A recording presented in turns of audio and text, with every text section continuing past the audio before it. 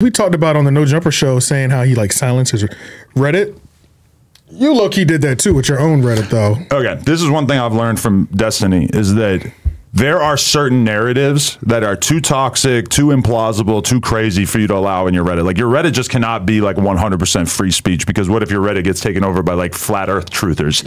At a certain point if every single thread is turning into like people talking about how the earth is flat, Yeah. it's it's going to suck, right? So True. from my perspective, it's like extreme untrue allegations about anybody on the staff is the kind of thing that we definitely intervene in. And that's one thing that has been annoying as fuck to deal with is like seeing somebody like AD say like oh people were posting pictures of my kids and they were being left up in the Reddit. I know myself personally we could easily go through my history as a Reddit Yeah. mod and find like many dozens or hundreds of times that I personally removed shit about AD's kids. Yeah. so it is kind of annoying to hear that because like he knows deep down inside that if he did see something of his kids on the Reddit that it was probably gone within an hour or two, right? Right. Mhm. So Yeah. so 'Cause that I th- there is stuff that's yeah. too foul for you to have in the Reddit. Yeah. It's just that T-Rail's threshold for what's too foul seems to include like almost any very- commentary or criticism. Unless it's straight that, up yeah. propaganda, Yeah. straight up like I love everything you do. Then Yeah. he's not cool with it, which is a crazy move that I've never seen anybody do. I do. I will agree that your threshold of what is criticism and what is out of over the line is definitely different.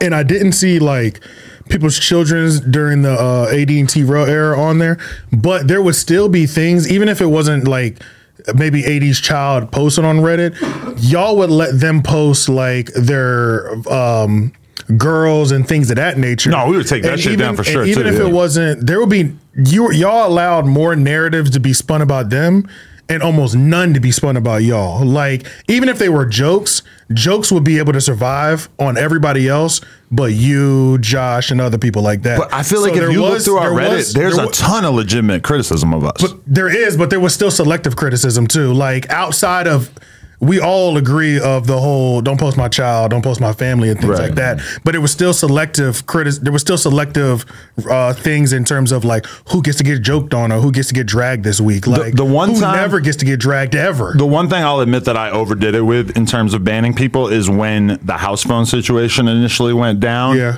I definitely banned people because at first I thought that the opinion that I like intentionally exposed him. Mm-hmm. I viewed that as like such a fringe opinion that I was just like, if you're saying that, I'm just gonna fucking block you because it's, Gotcha. that that is to me so crazy. That ended up being like a huge percentage of the people were going with that opinion Yeah, at that yeah. time, whether they like sincerely believed it or whether they just like thought us. it was so much fun to believe it that they were just gonna roll with it. Yeah. That I regret because it's like you you only want to like for instance during the Lena and Jason Luv era. Right. I didn't ban one single person for talking about that shit. Yeah. Because Right. it's just like how could I possibly think that I'm going to control this narrative? Yeah, you know, this is crazy. just the most basic thing that's going to get Right, discussed here. right, right. I didn't realize that the house phone thing. I probably should have like used that same mentality towards that of like. Yes.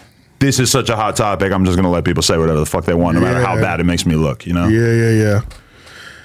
Yeah, man. So uh I guess that's it. I mean, uh d- did you did they have anything else that they you saw in that clip that they were kind of addressing? I literally only saw like 60 seconds of it. It- but Gotcha. but the funny thing about it to me is like I, I put a screen recording on my Instagram story, but like when you go through every comment is A, shut the fuck up about no jumper. This is insane. How the fuck are you guys Mm. still having the same conversation over and over?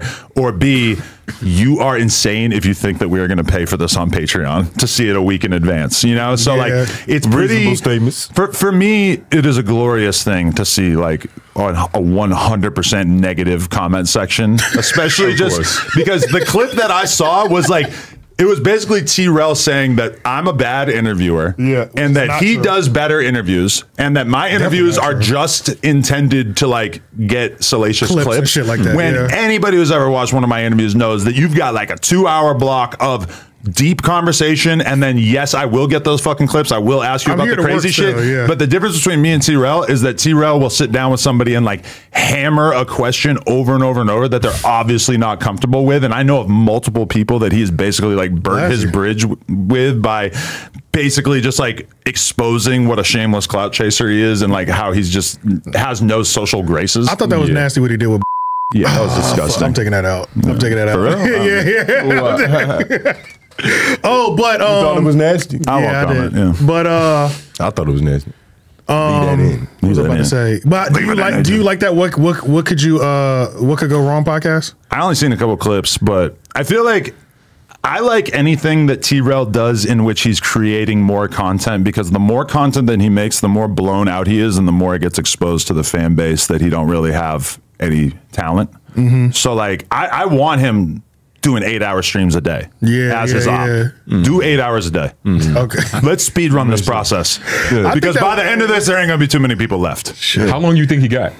Oh, I think it's already over. But I mean, I feel like his view count is like quickly like getting to the point where he's basically like on par with a bunch of like regular ass day in day out about- YouTube streamers in LA. Like he's kind of like reaching this like mediocre level like very quickly. I feel like you're being hard on him because that's what people have said hard the because same he was thing. my he was my best know, pupil yeah. at a certain point, and Yeah. to see him like he leaves, and I felt like under my tutelage, best, yeah. he was doing great. He was, there yeah. was a huge amount of Like, excitement he made about Danny it. Mullen bearable. It- Thank you. Yes.